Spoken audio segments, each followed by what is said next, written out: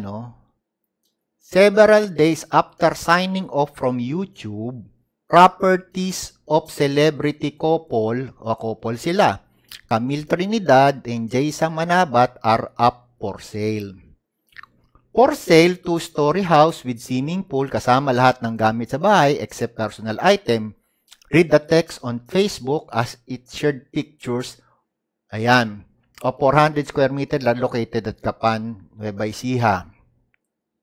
Imagine ninyo itong ginagawa nila. Ine-expose nila yung kanilang property. So, binigyan na ngayon nila ng ang BIR ng advantage dito. Kasi sinabi na nga ng BIR, huhulihin yung vlogger. Nakasulat ho yan dito sa kanilang sistema. Ipapakita ko ho sa inyo yung sinasabing gagawin sa inyo.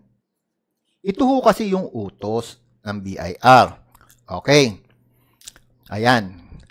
Sabi dito, to enhance, ito po, to enhance tax compliance, and eventually increase tax revenue, concerned BIR offices are advised to conduct full-blown tax investigation against social media influencing influencer residing and registered within their respective jurisdiction. Anong ginawa ngayon po ng mag, mag uh, celebrity ito? Eh, ang ginawa po ay eh, tinuruan yung BIR kung nasaan sila. Kumbaga, eh, isinumbong nila yung sarili nila. Eto ko, nasaan? Sa Gapan Nebay Siha. Ayun. Ito, sin- sinabi, sinabi. Nasaan si Jamil? O, di, nandito po kami sa Gapan Nueva Ecija. Ito, sinabi niya, meron ho kaming 450 square meters. Tapos, naglagay ng picture. Ito ho yung mga property namin. Dalawang sasakyan na kulay itim. Raptor at saka isang jeep. So, inadvertise na po nila yung kanilang asset. Ayan. Yan ho ang isang mali.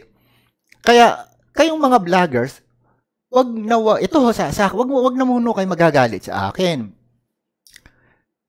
Kung maaari ho, maging modest lang ho yung buhay nyo natutuwa kayo na isineshare nyo sa taong bayan yung inyong at na, nakakamit sa inyong negosyo katulad ng vlogging.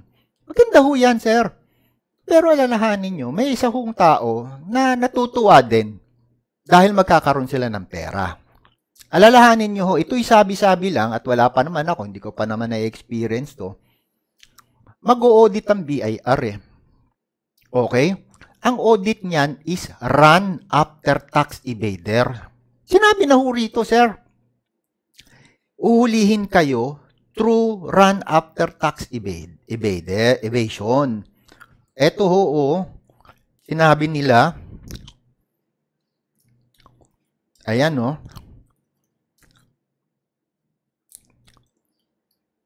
So, ito po yung gagawin sa inyo.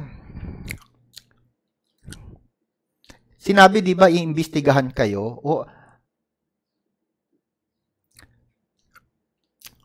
Sabi rito, ang utos sa inyo, the social media influencer are therefore advised. Ayan, ang ganda oh.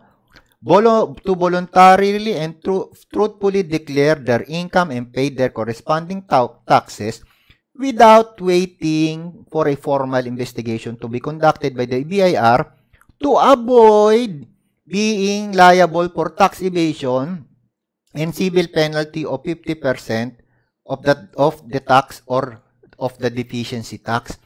Sir, mga bossing ko, ha? Binigyan na kayo, kumbaga, hahabulin ko kayo ha, habulin ko kayo. Bigyan ko kayo ng partida. Bigyan ko kayo ng 10 minutes na tumatakbo na kayo bago ako tumakbo. Ganun ka-confident yung BIR, sir. Ganun ka-confident na ibig sabihin niyan, kayang-kaya kang abutan. Kayang-kaya kang habulin, sir. Binibigyan ka ng partida. Ulitin ko yung sinabi, sir, ang liwanag, oh. The social media influencer, ang ganda, oh.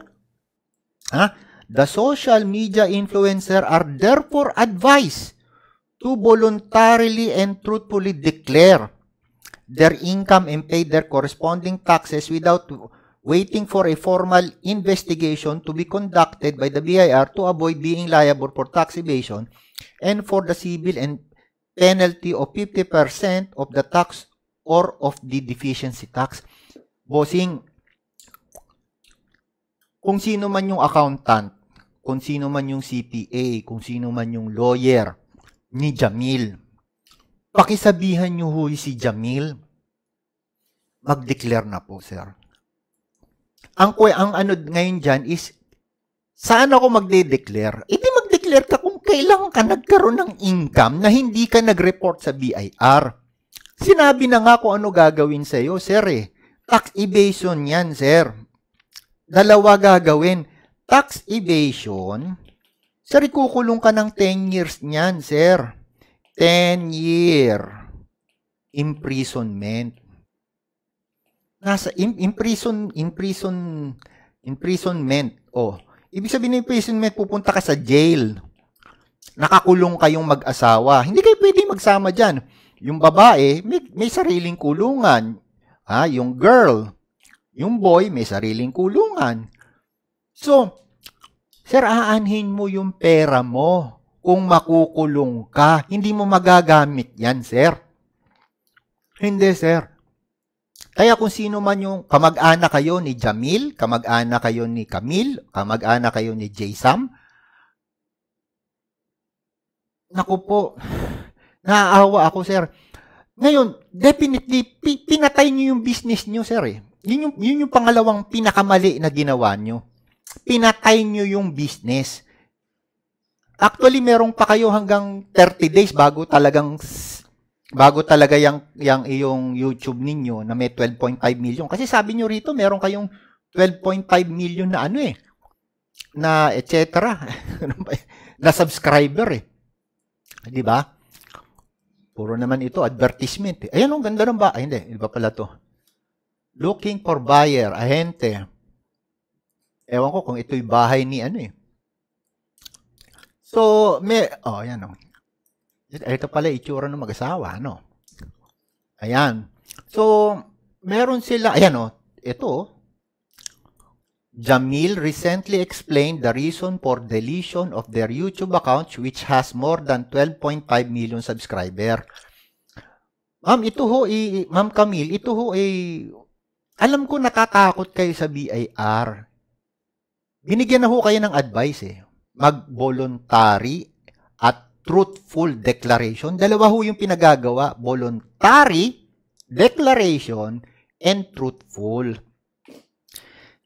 Ma'am, Christmas gift ho ng BIR sa inyo yan. Christmas gift. I-accept nyo. I-accept nyo. Ngayon, buhayin ninyo yung Jamil subscription nyo. Meron pa kayong 30 days. Hindi ko alam kung kailan kayo nag-ano ah. Buhayin nyo. Kasi doon manggagaling yung ipambabayad nyo sa BIR. Ayan. Hindi ho masama ang BIR, ma'am. Nagkamali kayo eh. Aminin nyo na nagkamali kayo at gusto ninyo na i-rectify yung mali nyo, i-correct. So ano ang mga corrective measures? Maling-mali. Parang tatay nyo na ako, parang nyo na akong kuya. Maling-mali na isara ninyo ang YouTube account ninyo because dyan kayo kumikita eh. So kung wala, nahuli na kayo sir eh. Huli na kayo. Wala na kayo pagtatakbuhan. Nag-iintay na lang kayo na makareceive ng letter of authority. Ah? So kung yung mga hindi pa nakakakita ng letter of authority, napakadelikado ho niyan.